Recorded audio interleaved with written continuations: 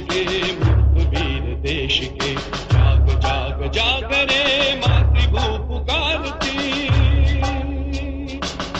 जाग जाग मातृभू पुकारती प्रदेश के मुख्यमंत्री अशोक गहलोत को राजनीति का चाणक्य भी कहा जाता है। ये सिर्फ़ कहने की बात नहीं है। सीएम गहलोत हर बार अपने प्रतिद्वंदियों को मात देकर ये साबित भी कर देते हैं। अशोक गहलोत को मुख्यमंत्री बने। अभी कुछ ही दिन बीते हैं, लेकिन इस दौरान गहलोत के हर कदम से ये साबित होता है कि उनसे टक्कर लेना इतना आसान नहीं है। अशोक गहलोत ने मुख्यमंत्री बनते ही किसानों से किया अपना वादा निभाकर अन्नदाता को राहत दी।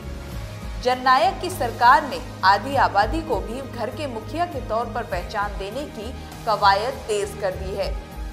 गहलोत सरकार ने फैसला लिया है कि राशन कार्ड में मुखिया के तौर पर महिला का नाम होगा।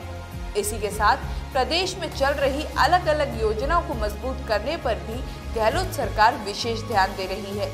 यही नहीं, गहलोत ने मंत्रिमंडल विस्तार, विभागों के बंटवारे में भी तमाम राजनीतिक सूत्रों को दरकिनार कर दिल्ली तक अपनी छाप छोड़ी है।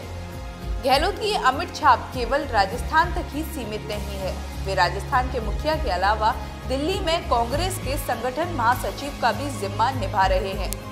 उन्होंने कभी भी कांग्रेस को किसी भी मोर्चे पर पीछे नहीं होने दिया है। यही कारण है कि राजस्थान ही देश का भी गांधी कहा जाने लगा है।